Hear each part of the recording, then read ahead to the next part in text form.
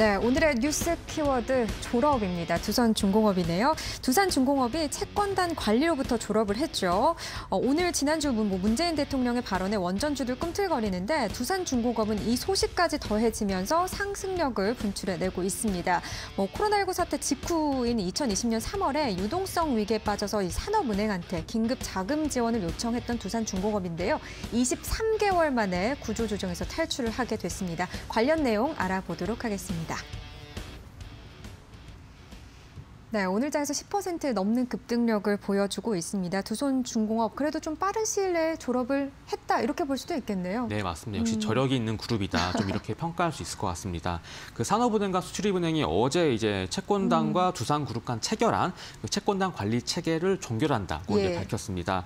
이게 2020년 3월에 이제 두산중공업이 산업은행과 음. 수출입은행과 이제 에게 이제 긴급자금 지원을 요청을 한 지 약 2년도 네. 안된 시점이어서 원래 예초 약정 기한이 내년 6월이었거든요. 그래서 음. 굉장히 빠른 조기 졸업이다. 좀 이렇게 시장에서는 평가를 하고 있고요. 예. 원래 이제 두산중공업이 해외 석탄 발전 그리고 이제 국내 원전 사업 비중이 큰 회사였잖아요. 그런데 뭐 탈원전 정책 영향도 미쳤고 이제 코로나 19에 따라서 이제 금융 시장이 좀 경색이 되면서 좀 유동성이 좀 부족에 시달렸습니다. 음. 이제 그러면서 어, 좀 이렇게 위기가 있었는데 이제 채권단의 도움을 받으면서 되게 빠르게 지금 체질 개선에 나섰다. 좀 이렇게 평가를 받고 있습니다. 그래서 작년에 이제 영업이익 보면은 2,622억 원으로 흑자 전환에 성공을 예. 했고요.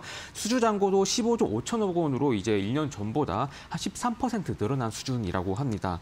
그 약정 기간 동안 사실 두산그룹이 채권단과 약속한 대로 음. 이게 구조조정에 나서면서 당시 제가 M&A 기자였는데 되게 발빠르게 움직일 수밖에 없었던 일들이 많았거든요. 예. 나름 맨날 뭐 M&A 소식 있어가지고 그런 게 많았는데 뭐 클론모 CC, 그 네오플럭스, 그 두산타워, 그리고 두산 솔루스, 모트롤 비즈 막 이러면서 두산의 핵심 그런 자회사들을 많이 팔아 넘기면서 음. 아 굉장히 사람들이 이제 두산이 이렇게 쪼그라드는구나 얘기했었는데 체질 개선에 되게 빠르게 성공을 하고 앞으로 신사업도 진출한다고 하니까 그런 부분들 좀 지켜보시면 좋을 것 같습니다. 네, 그러니까 애초 약정 기한이 2023년 6월 말까지였는데 네. 그래서 조기 졸업 얘기가 나오고 있는 거고 이렇게 졸업을 하면서 올해부터 신 성장 사업 투자를 좀 공격적으로 늘릴 예정이다 이런 내용들이 나오고 있습니다.